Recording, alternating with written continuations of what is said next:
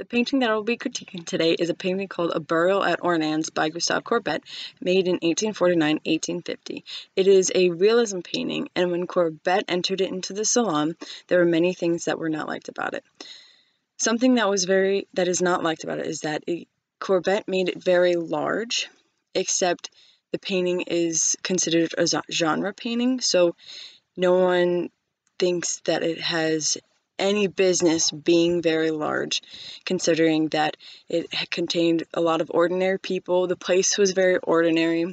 The event that was going on is ordinary, and the event is um, the burial of Courbet's uncle. And this event is something that many people go through, so it's very ordinary. Something else that is not liked about it. It is not idealized. And there is no focal point.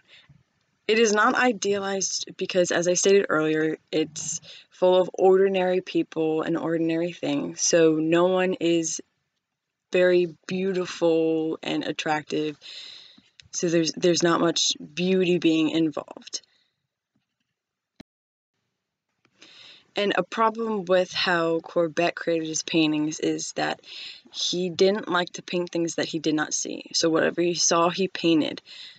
So there was, in this painting, there is very little about Christ and like the resurrection and his death and his crucifixion, except for the cross that the man is holding. And and because Courbet doesn't like to paint things he doesn't see. He doesn't paint any angels and he doesn't paint the actual crucifixion or anything like that. He paints what's happening with him and his family and what's going on.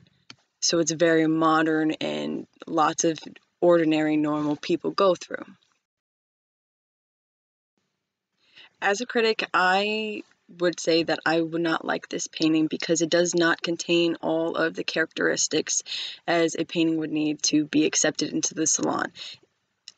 Um, because it does, it is not historical, so there, the subject matter doesn't really fit except for the modern times, and it is not idealized.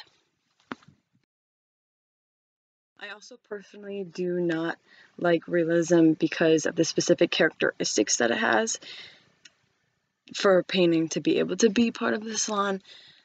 Like, I do not like how there's only the three specific things, and I feel that in Courbet's painting, this is his historical moment, but not everybody else's, but it's still a historical moment so I feel like it should be okay to be included. But it can it is not because it doesn't have anything to do with like biblical studies or any like worldly historical events.